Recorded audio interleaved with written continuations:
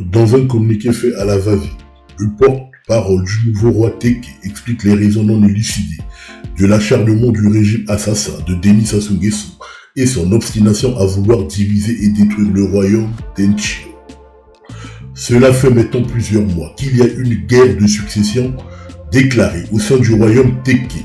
L'un est adoubé par le régime Moshi de Denis Sassou pour ses liens étroits avec la franc-maçonnerie et la Grande Loge de Brazzaville et l'autre est détesté pour sa réserve et la conservation de la tradition Teke ainsi que le pouvoir du Koué Mali.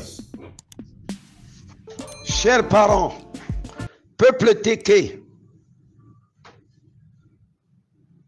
le village Impo est attaqué par un groupe de militaires en civil avec des cassettes habillés en blanc.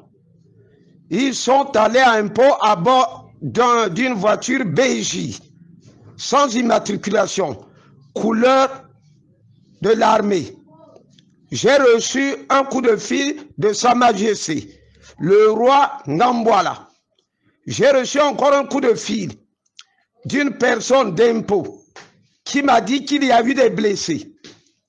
Et ils ont dit, m'ont demandé de saisir les autorités.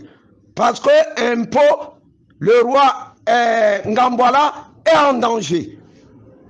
Faites circuler l'information. Merci. Rodez Claver Ompou, porte-parole du Conseil royal.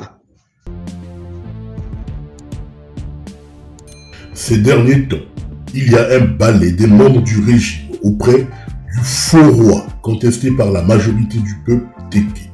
Koliné Makoso, natif Vili, veut s'immiscer dans les affaires internes du royaume Teke.